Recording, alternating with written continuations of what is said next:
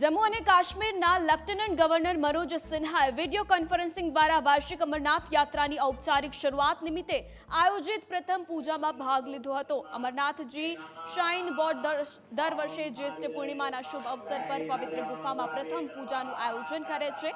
પૂજામાં ભાગ લીધા બાદ મનોજ સિન્હાએ દરેકના સારા સ્વાસ્થ્ય અને સમૃદ્ધિ માટે પ્રાર્થના પણ કરી.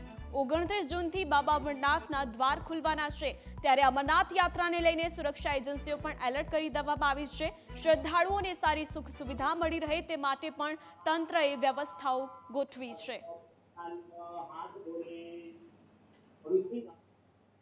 आज शुभ मुहूर्त में बाबा अमरनाथ जी की प्रथम पूजा संपन्न हुई 29 जून से देश भर के श्रद्धालुओं के लिए बाबा अमरनाथ के दर्शन खुल जाएंगे श्राइन बोर्ड ने और जम्मू कश्मीर प्रशासन ने देश भर से आने वाले श्रद्धालुओं के लिए अच्छे इंतज़ाम किए हैं।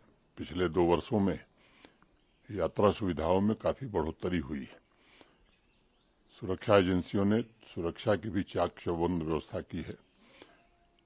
जम्मू कश्मीर की ये पुरातन संस्कृति रही है। जम्मू कश्मीर के सभी धर्मों के लोग इस यात्रा में बढ़ चढ़ करके हिस्सा लेते रहे, सहयोग करते